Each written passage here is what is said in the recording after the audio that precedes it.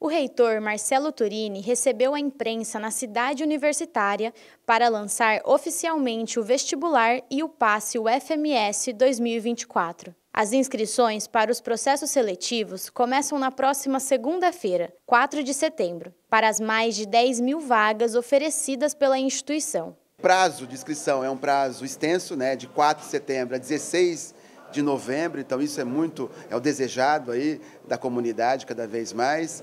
É, aumentamos também o prazo de isenção.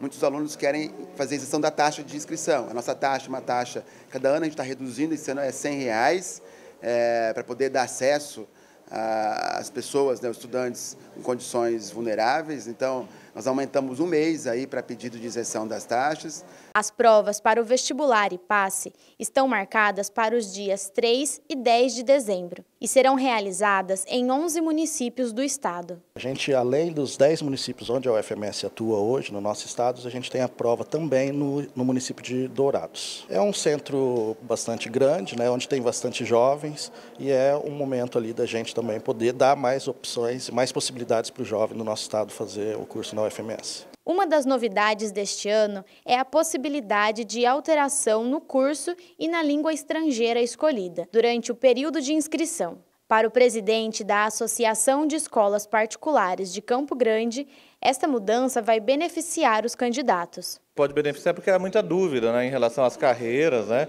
e às possibilidades de carreira. Então, num período longo de inscrição, como é o da UFMS em um mês, pode ser que o aluno mude de ideia e para que ele não tenha que pagar uma outra inscrição, ele consegue alterar no portal aquela escolha, seja a escolha de carreira e seja a escolha de campus, né, porque nós temos curso de Direito em vários campos, curso de Medicina em dois campos.